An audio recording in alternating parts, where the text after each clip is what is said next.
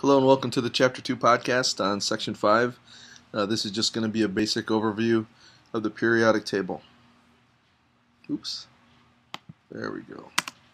Okay, the periodic table, you know, as more became known about the particles and structure and stuff, uh, an arrangement of all the elements put together was created, known as the periodic table.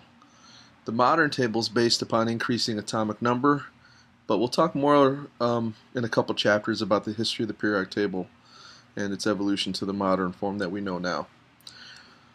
Basically, the way the periodic table works is that similar properties, uh, elements with similar properties are put in vertical columns, also known as groups, and periods are horizontal rows um, as the, the uh, number of protons or atomic number increases.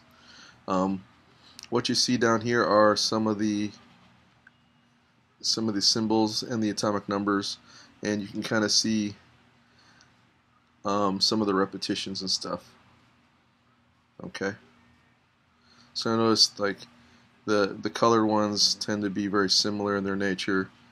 So this is why some of them are grouped together and others are grouped either you know in in in each on each other uh, next to each other or right below depending upon the properties themselves so this is our modern table. Um, the other thing you should keep in mind here are where things are on the periodic table with respect to metals, nonmetals, and metalloids. So this staircase you see here on the right side of the table represents the separation point between metals, nonmetals, and then we have our metalloids, which are on the staircase. Um, metals tend to have um, they tend to be shiny or have luster. They can be um, ductile and malleable. Um, they conduct electricity uh, when in the molten form or by themselves. They're good conductors of heat as well. The only nonmetal that's on the left-hand side is hydrogen. Um, nonmetals can basically are basically opposites in terms of properties. Also, metals are almost always solids, with the exception of mercury.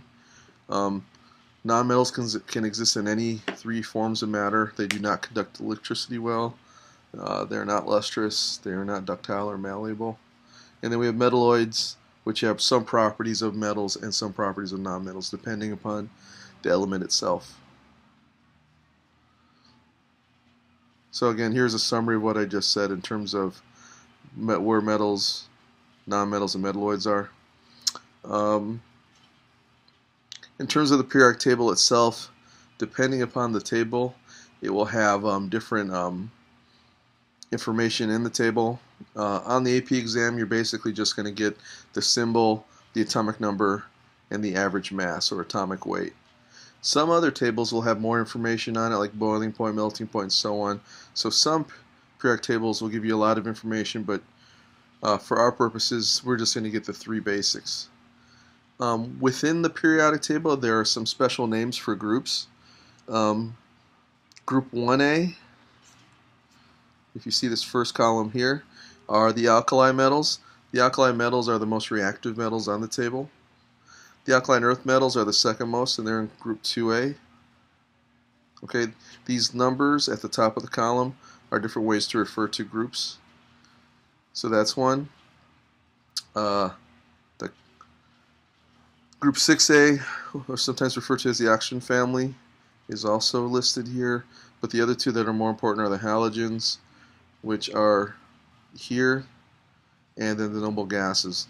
The noble or rare gases, or sometimes they're called inert gases, these are uh, gases that are stable and almost never combine to form compounds. And we'll talk more about why that is uh, in future chapters. That's it.